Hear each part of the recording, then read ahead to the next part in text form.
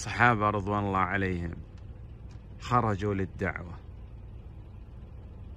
ابن عمر رضي الله عنهما صحابي إمام من أهل الفتوى والعلم أبوه خليفة أمير المؤمنين عمر بن الخطاب رضي الله عنه.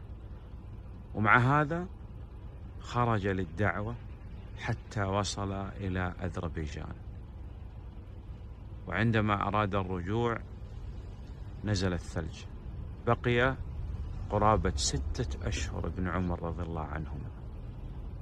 في الدعوة إلى الله خرج هؤلاء لتبليغ الدين. اللهم ارض عن الصحابة أجمعين.